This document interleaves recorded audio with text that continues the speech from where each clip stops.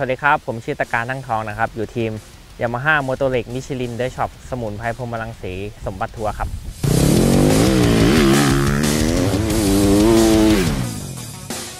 ตอนนี้ผลงานล่าสุดเลยที่ผ่านมาเป็นแชมป์เอเชีย motard นะครับสำหรับโมโตครอสเนี่ยก็ขี่มา 10 กว่าปีนะครับ ก็ขี่เริ่มขี่ตั้งแต่ 5 ขวบครับ แล้วก็เริ่มเข้ามาแข่งในสนามใหญ่เนี่ยประมาณ 9 ขวบ รายการที่แข่งเลยก็มีเป็นรายการชิงแชมป์ประเทศไทยเนี่ยแหละครับ แข่งเมืองนอกด้วยอะไรด้วย ก็เป็นรายการ Motocross of Nation รายการ World Championship อะไรประมาณเนี้ยครับ งานเอเชียเป็นงานโมตาครับก็จะเป็นรถอีกรูปแบบหนึ่งถามว่าเสน่ห์ของมันอยู่ไหนมันก็อยู่ที่วิธีการขี่ก็มีโดดเนินอะไรด้วย แล้วก็ขี่แล้วมันสนุกครับรู้สึกว่ามันมันสนุก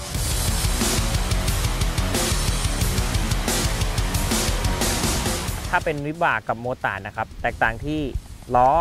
ยางเบรกแล้วก็วิธีปรับเซตถ้าเป็นวิบากเนี่ยในสนามเนี่ยเราขี่ไปแต่ละรอบมันก็ไม่เหมือนกันแหละเพราะว่ามันเป็นดินมันสามารถเคลื่อนย้ายได้ตลอด มันก็ปรับตัวไปตลอดเวลาเราก็ต้องคอยดูคอยปรับเซตให้ดีๆ ว่าตอนก่อนแข่งเนี่ยปรับเซตไปประมาณเนี่ยเวลาแข่งไปแล้วจริงๆเนี่ยคือสนามมันก็จะเปลี่ยนไปเรื่อยๆ เป็นบัมเล็ก ๆ อะไรขึ้นมาครับมันก็ต้องคำนวณให้ดีๆ การเลือกยาง อย่างเช่น สนามทราย สนามโคลน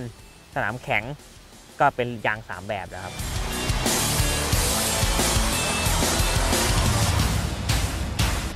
สำหรับรถแข่งคันนี้นะฮะก็มือเบรกมือคลัตช์อะไรพวกนี้ก็จะปรับให้มันถนัดกับนักแข่งเอง เรื่องแฮนด์เนี่ยก็จะมีองศาของมันอยู่ ระบบกันสะเทือน รถผมเนี่ยก็จะใส่โช้คของ Öhlins ทั้งหน้าทั้งหลังเลย ถ้าเป็น standard เนี่ยมันก็จะช่วยได้ประมาณนึงสมมติว่ามันแข่งแล้วจริงๆเนี่ยคือมันต้องทำโชคขึ้นมา หรือว่าเปลี่ยนโชคเป็นโชคแต่ง มันก็จะช่วยได้ดีขึ้นมาอีกระดับหนึ่งส่วนเรื่องเครื่องยนต์เนี่ยมีการโมดิฟายจากทีมอยู่แล้วครับพวกเรื่องของแต่งเล็กๆ น้อยๆก็เป็นของแต่งจาก ทางทีม แล้วก็จากทางสปอนเซอร์ก็คือเป็นได้ช็อป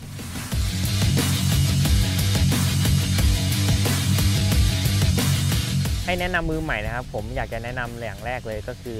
การแต่งตัวให้ครบนะฮะเพราะว่าอุปกรณ์มันช่วยได้เยอะ อย่างผมเองนี่ก็เคยล้ม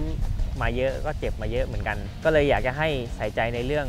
ความปลอดภัยอันดับแรกเลย ส่วนเรื่องที่ 2 ก็เป็นเรื่องการเลือกรถ มีงบประมาณเท่าไหร่ รถบ้านเรามันก็ค่อนข้างจะมีเยอะอยู่ แล้วพอซื้อรถเสร็จแล้วปุ๊บก็อยากจะให้มาฝึกเบสิกการขี่จัดท่าเลี้ยวต้องขี่แบบไหนอะไรยังไง ใช้คันเร่งแบบไหน อยากจะให้มาฝึกกันตรงนี้ก่อนไม่ใช่ว่าซื้อรถมาอยากขี่เลยแบบว่าใจฮึกเหิมห้าวอะไรประมาณนี้ก็ไปขี่เลยคือ เรายังไม่รู้วิธีการขี่ ไม่รู้วิธีแก้ปัญหาเฉพาะหน้า หรือว่าเวลาที่รถมันมีอาการแบบเนี้ยมันยังแก้ปัญหาไม่ได้ เวลาไปสนามเนี่ยอย่างสมมติว่าเจอนักแข่งเก่งๆหรือว่าเนี้ยก็เข้าไปสอบถามกันได้ ถ้าอยากจะเรียนจริง ๆ ก็ณตอนนี้มีหลาย ๆ ท่านที่เปิดสอนอยู่ ก็อยากจะให้ไปศึกษาเบสิกกันแรก ๆ กันก่อนครับ